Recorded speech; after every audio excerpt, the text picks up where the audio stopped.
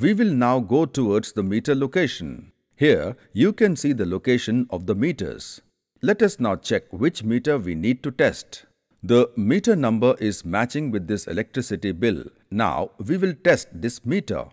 Let us fix the optical scanner so that the meter can be tested.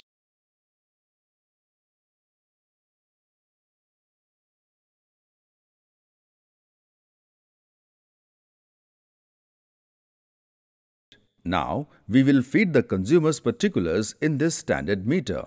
The details are consumer CA number, consumer ID, meter number and the meter calibration pulse. Meter number is 431915504.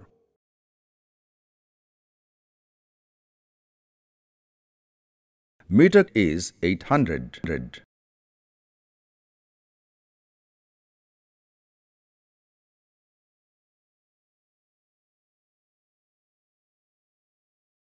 Now, we will put the meter on test mode and press start.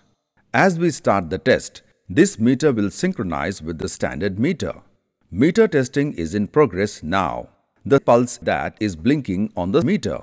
The same pulse is blinking on the standard meter. It will compare the pulse on the meter under test. Now, the results have come. You can see that it is showing 0.98% accuracy. As per DERC guidelines, for an energy meter installed to record energy consumption, 2.5% plus or minus accuracy is permissible. Since it is 0.98%, this meter is working perfectly well. I will now share all the particulars with the customer as per the protocol.